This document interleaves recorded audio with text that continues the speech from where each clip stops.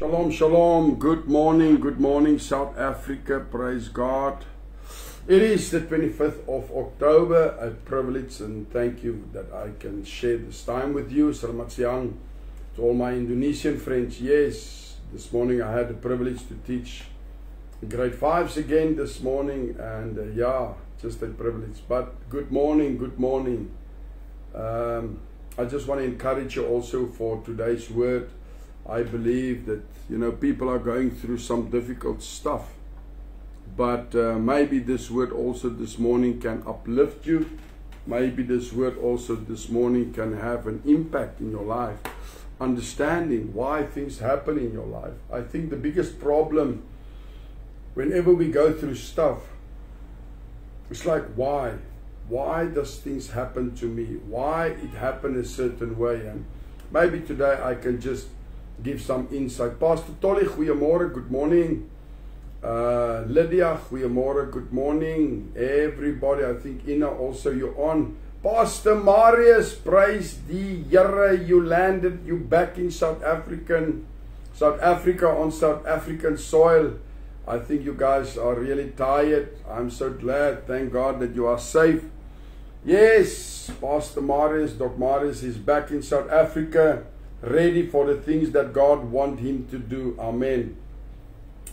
Yes, Jock, goeiemôre. Good morning, good morning. Uh, let's pray and we start this morning. Amen.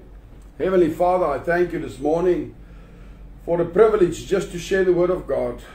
May your grace and your mercy just come upon us and Father, we just honor you. I just pray for the body of Christ today, Lord, that there will come one unity, one spirit, one mind. Forgive us, Father, that we are so divided. We have so many our own perceptions, our own opinions, and please forgive us that we are so opinionated regarding certain things and and we use many times social media as a platform to draw uh, more division than rather solutions. Uh, Father, let us have wisdom. Let us truly have wisdom. We are not here to break each other down. We're not here to step upon each other, but we are here to love one another. And it's just sad to see how people within the body truly can cut each other up with their mouth, with their actions. And please forgive us, Lord. Let us just make room for people, Lord. Let us just make room so much more for the people within the body of Christ. Let us have the wisdom to understand much more the things we are going through. I just pray this morning that you will touch us, Lord, changing the atmosphere and be glorified in Jesus' name. Amen. Amen. Good morning, my darling wife. So this morning, I want to speak about your word is being tested. You know, it can be the thing that God has placed in your in your heart. Let's call it good morning, Barbara. It can be your calling, let's call it that, your anointing. It can also we can call it a dream, but let's call it a calling. Uh, uh, maybe you have a prophetic word. Maybe God spoke to you yourself. Maybe through the word you got revelation, but this is God's plan for my life. And I just want to say this morning, but that word will be tested.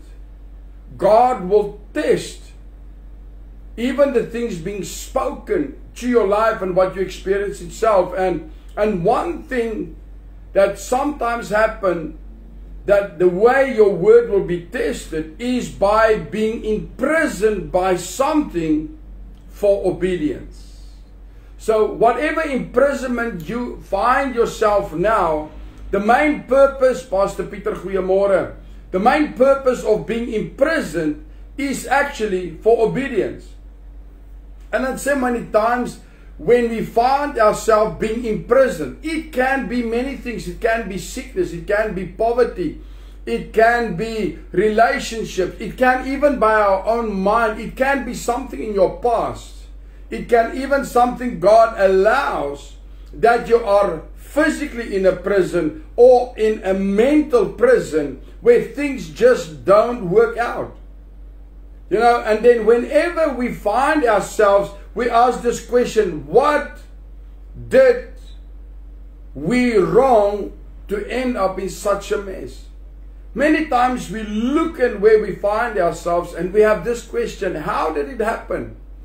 It's possible to find ourselves imprisoned because of disobedience and rebellion. Yes, sometimes our choices can bring us into a place of imprisonment where you are being isolated. In such cases, we're not so much prisoners of the Lord as we are prisoners of our own wrong choices. It can be in marriage, wrong choice. You've not listened to God. And now you're married and you find yourself in this abusive relationship. It becoming imprisoned. And many times the things is not actually being allowed by God. Or God is not the source that actually brought you into that. But even when you do find yourself imprisoned, and that's one thing I want to encourage the people that find themselves in a place because they did not listen, because of various reasons that was wrong. You know, if you look at Samson, yet God chose to use Samson even at the end of his life. So God's plan for you will not change. But when your heart changes, God can do the things that you were still called or the word in your heart. On the other hand, we might find ourselves in prison without having done anything wrong. If you search your heart before God and you cannot come up with any reason why you're in prison, you may very well be a prisoner of the Lord. It's a prison of obedience. If we, if we read the book of Jeremiah, I mean, that's what happened to this prophet. He was a prisoner of obedience. He was faithful to deliver the words. How many people, Marno Goeiemorgen, are just faithful serving God? And you find yourself in a situation as being imprisoned by a something, you know, uh, uh, uh, and, and, and then how did it happen? So Jeremiah was faithful to deliver God's word, faithful, and yet he ended up in prison. But God knew that Jeremiah was addressing people who were themselves going to be taken captive by, by the Babylonians. So people are more often to receive from someone who has shared the pain. So many times, what we are going through in that imprisoned, let's call it season, becomes your testimony and the working sphere after that in people's lives. Because if you can relate to people, sometimes you have a bigger understanding of what people really feel. You know, it's easy to say, I know what you feel. If you've not walked in that path, your words is only that what you think how it could be, but not really experiencing that. And sometimes when you've gone through that, and you say to people, I know what you feel because I was there. I know the loneliness. I know the calling and seeking God, and the heavens is just closed. I know feeling lonely, being separated from God, uh, being separated from people, whatever the choices. Amen. I say sometimes God imprisons his servant in a prison of obedience that they have a platform to speak into the lives of people, especially in their disobedience. I mean, when we look at the life of Joseph, I mean, he could have thought, but I didn't do anything to deserve that. Maybe I'm speaking today to someone that you find yourself in a season that you don't understand. Maybe your business. Maybe people said God has called you as a king financially. But the reality is nothing worked. It's like money is just flowing through you, but there's no substantial. You want to do so much for the kingdom of God. You have these dreams, but it's not happening. You know, many people regarding ministry, they want to be part or they want to come into ministry, and it's just like it's not happening. Then this happened, then this happened, then this happened. You find yourself in a season where just nothing work out. This is like you have no favor from God. It's like no door open in the season it's supposed to be. You just move from the one closed door to the next closed door with a pure heart to serve God. And then it's like, God, what did I do to deserve that? Well, one thing, if it's been God placing you in that condition or imprisonment, it's to teach obedience. I mean, can you imagine what Joseph experienced being sold by his brothers, coming into Potiphar's house, coming into the prison? How? How come I'm in the beginning of my life? But yet he felt a prisoner. I say the first response of God's prisoner is to feel like God has actually treated you unfairly. Whenever you cannot connect the dots and you, you, you cannot understand, there's nothing that you truly did to, to deserve this condition or season that you find yourself as imprisoned. Well, when you feel unfairly treated, just know one thing God has positioned you in a place of obedience, preparing you for the dreams to come into fulfillment. The fact is, you're not in a prison because of something you've done wrong, but because of something right you've done. The position being right position in season for God to do a great thing in your life. You've asked God to lift you to a higher place. You've asked God to increase your fruitfulness. And what is God's answer of your prayer? In Joseph and Jeremiah, they went to, to prison. They, they, they find themselves in a place of confinement. But even in Joseph's case, God did not deal with Joseph according to his righteousness, but according to God's righteousness. And I know God wants to speak to someone this morning. You know what I'm talking about. You find yourself in a condition for a season that you just don't understand. You experience the reality of being bound in chains, being bound and it's like whatever you try, you just cannot get out. And this morning, my word is, is your word that God has placed or given you is being tested. And the first thing God tests through imprisonment is obedience amidst your condition that you find yourself. Are you still uh, obedient even amidst in the change that you find yourself? Amen. Genesis 39 21, it says, showed God, the Lord, for it says the Lord showed him mercy in prison to Joseph, which means God dealt with him not according to his perfect responses, but according to his own goodness. I mean, we do not understand God. Can you imagine you do good, but yet you find yourself being in prison? That's just the way God prepares us. That's just the way God tests the word in your life. I want you to have another angle of the things you are experiencing. So many times we have expectation how things should work out. God, I have this dream. I want to go to nations. I want to bring the gospel. And suddenly all finances dry up. Suddenly there's no measure of anything that can that that that you can go with. And then you feel, can I ask people? You know, just like no, no, no. You find yourself and you can, God, but can you not understand my heart, my calling? God, I want to do something. Maybe you said, God, I really want to help people in counseling, and the next moment your own marriage falling apart. How can it happen? Why? The word or the dream or the calling will be tested. And one of the testing is you will, God, in some instances, will imprison you. But the imprison will be to prepare you. You know, and you will be tested in your obedience. Amen.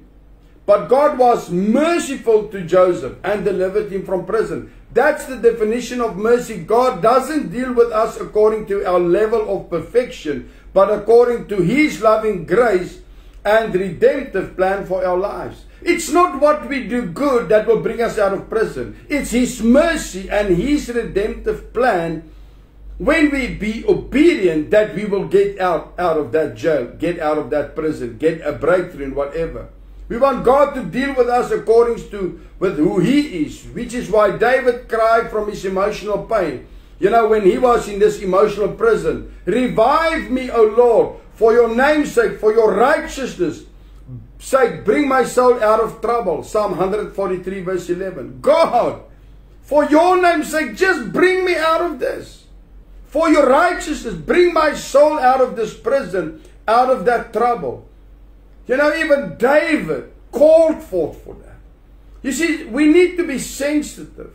We seek release, but You know, we seek release not simply for our own personal relief, but in order that God's reputation might be promoted through the earth. I want to read to you Psalm 105. I just want to read some of the scriptures, you know, uh, uh, from verse 16 to 22. Listen what it says, Psalm 105, verse 16, about Joseph. So God decreed a famine on Canaan, Canaan, uh, Canaan land, cutting off their food supply. God decreed a famine because God is busy preparing a man in prison. God, sometimes we also, God decree a spiritual famine in your life. It's like you sit in church, but nothing substantial. When you read a Bible, it's like nothing substantial. It's like you felt famine, whatever. There's a lack of word in your life. There's a lack of the presence of God. There's just this famine you experience.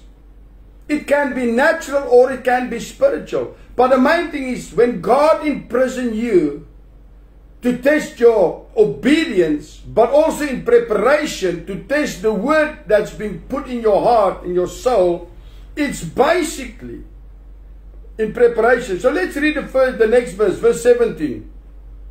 Now listen. So God decreed a famine upon the land, Canaan, putting off their food supply. But, hallelujah, whatever imprison, whatever famine you find yourself, but he had already sent a man ahead of his people to Egypt.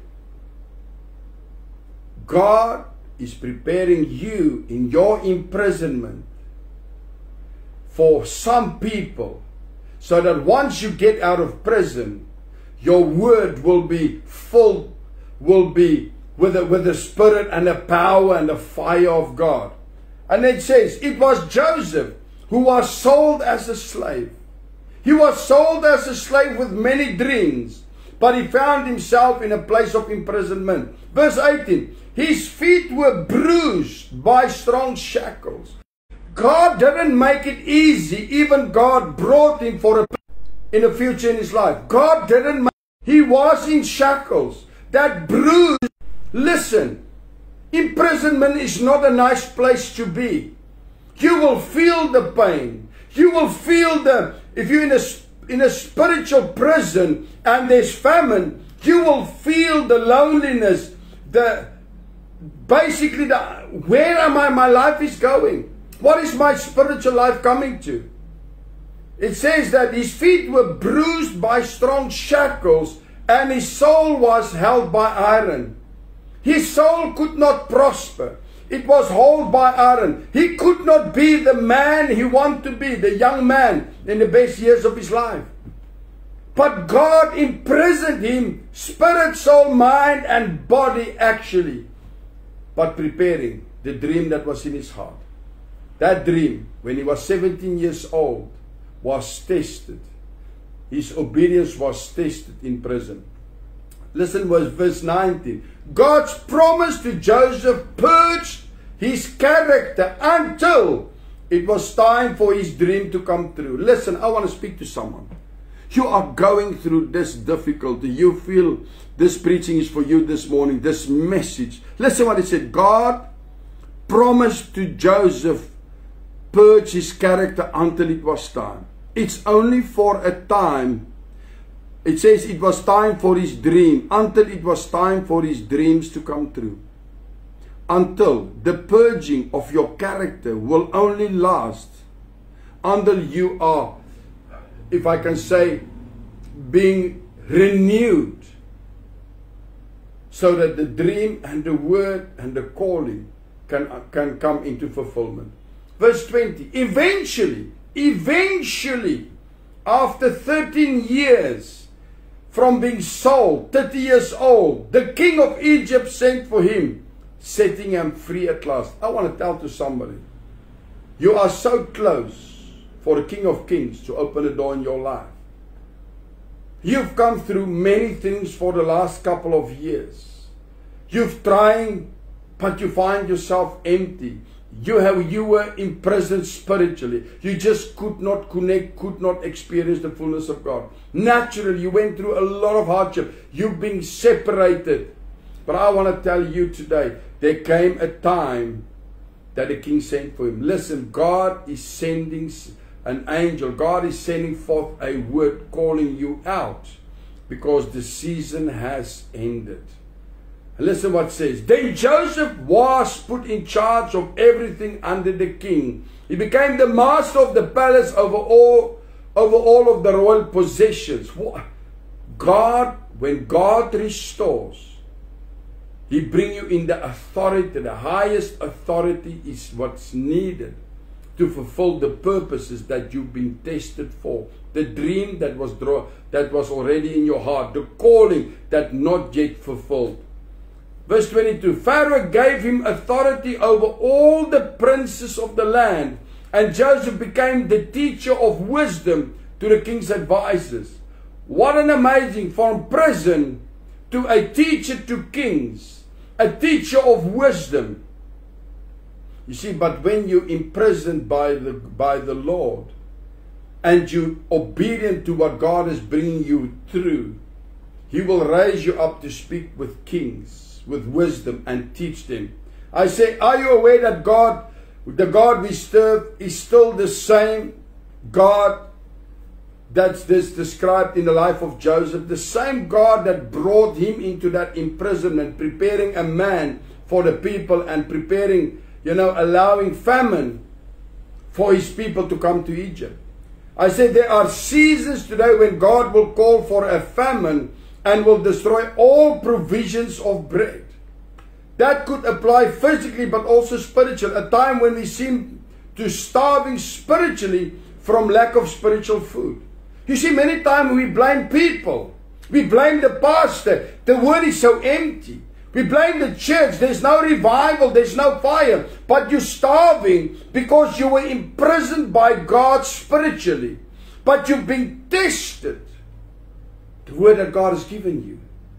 And how many of us miss the opportunity? We failed the test. I say God used the famine in Joseph's day for his purposes. Even the things you are going through.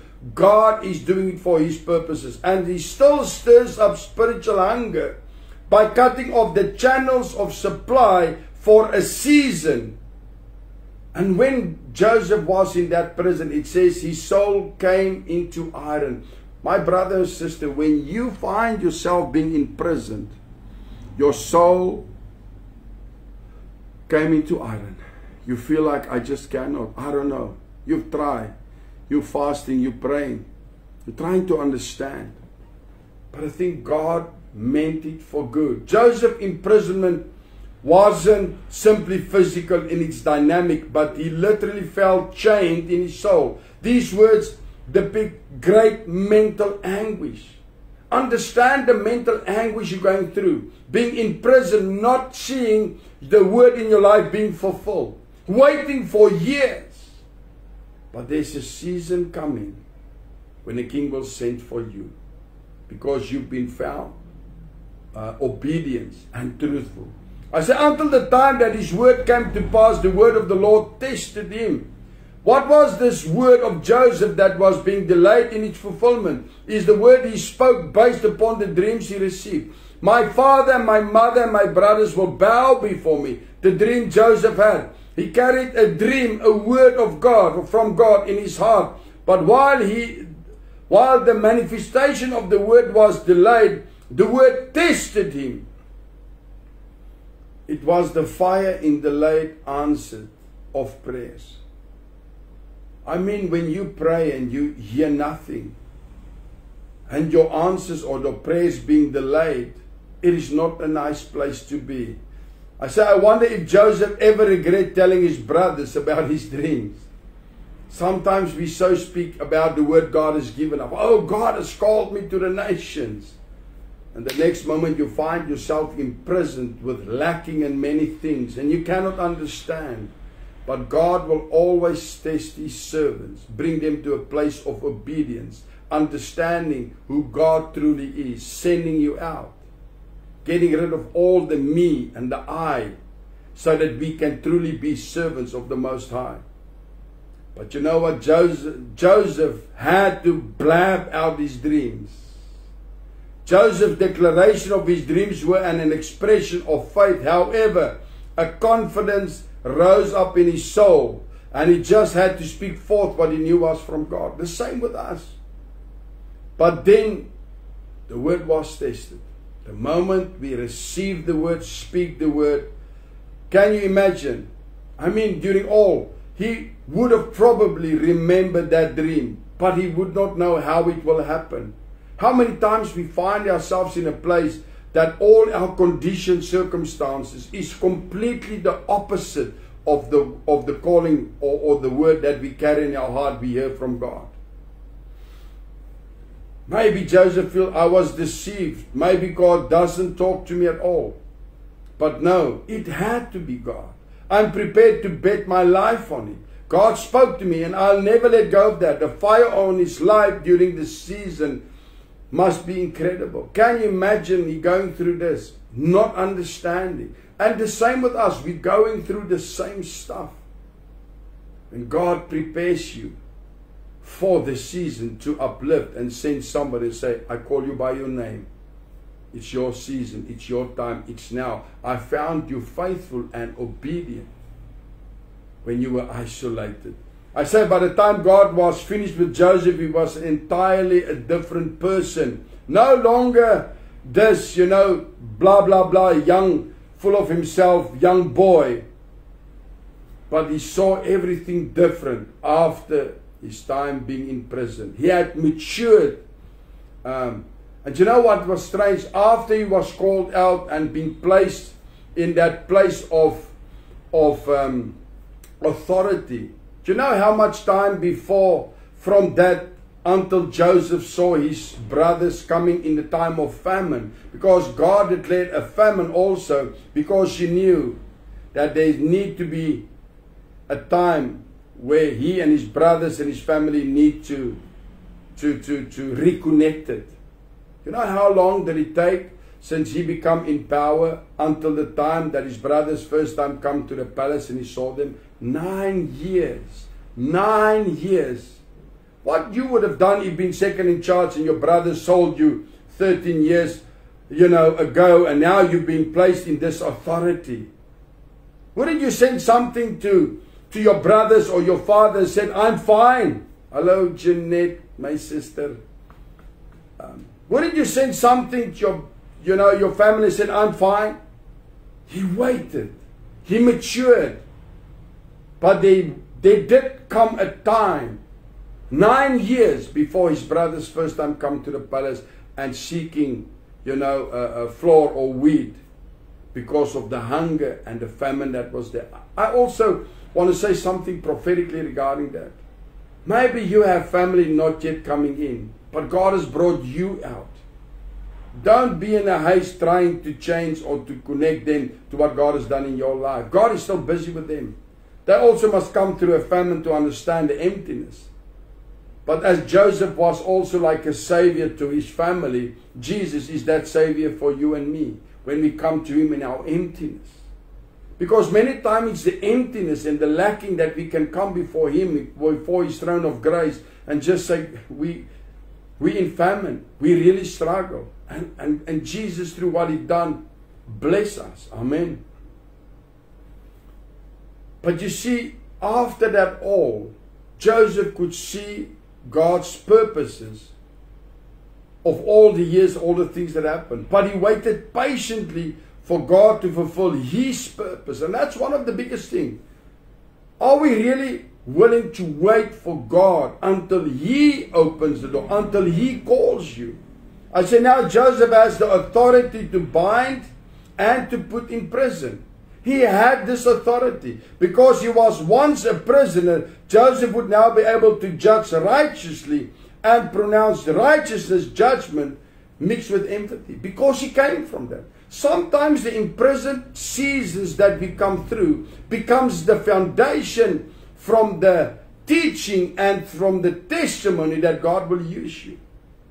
Because you can relate, you can emphasize for somebody that went through this. Sometimes people try to find that in books by the teachings of people. And I say, there is things that we can learn, but sometimes they want the shortcut. But God's way is not the shortcut. God's way is the testing of obedience by famine, by prison, spiritually and naturally. Amen. I say it took a lot for Joseph to understand the value of his prison season. When he was placed there, he could have been bittered. He could have used his position. But because of what he went through and could see the bigger plan of God, he could have that empathy through his family. Amen. I say wisdom is fruitful. I mean, God said you increased in knowledge and spoke to the kings and to the you know to the people within this kingdom. And I say one day Jesus spoke to the crowds story that follow him saying, For John the Baptist came neither eating nor drinking, and they say he has a demon. People will always judge you. People will always say something. But the Son of Man came eating and drinking, and they say, Look, a glutton and a wine bibber, a friend of tax collectors. Whenever you come in the power and authority, there will always be people, always be people that saying, question why you sit and speak to the people you sit and amongst the people you are related to. I want to conclude this morning this word. And I just want to say to someone if you find yourself in that, it's obedience. Once we come to the place that we've learned, matured, and God found us obedient, that He said, I will send a man to open that door. I will send a man to calling out. Now your word will come and manifest, and you will come into that promise that God has given you. But you will have now the maturity. You will have now the understanding of God's purposes, not of your purpose anymore, but also you will have empathy for people that still are in their prison season, are still in their testing, in their word season. Sometimes we hear a prophetic word and we think tomorrow it must be fulfilled. It's not working like that. It's when God prepares you but then until he find yourself being obedient and faithful, understanding the bigger purpose, you will send a man who said it's time to come out. And God will uplift you. So don't trying to figure out why and why not. Just come into and allow God to mature you. Even you feel, God, where are you? But hold on to the word that's been prophesied, the calling over your life. Don't let go because surely you did hear from God. Surely don't let what this present season tell you that you're not good enough. Don't quit. You just keep on doing what you're doing because the moment it will come that God will send for you.